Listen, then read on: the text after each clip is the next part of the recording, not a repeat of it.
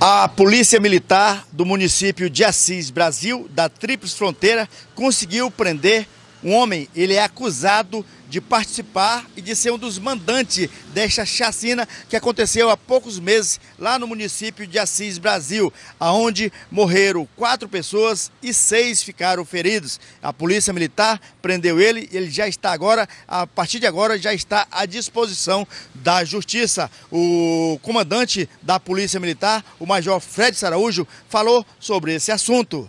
Isso, o Zaquiel foi foi preso lá na Polícia Nacional Peruana e graças à nossa, nossa integração com eles lá, é, pediu para consultar o indivíduo. Né, e aí passamos para ele a situação de que ele é procurado, tem mandado de prisão no Brasil, né?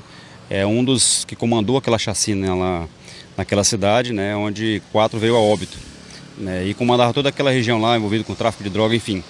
A Polícia Nacional está providenciando documentação de expulsão dele do país né, e será entregue na fronteira lá para que a polícia, para que nós é, encaminhe para a delegacia para as, as medidas de praxe.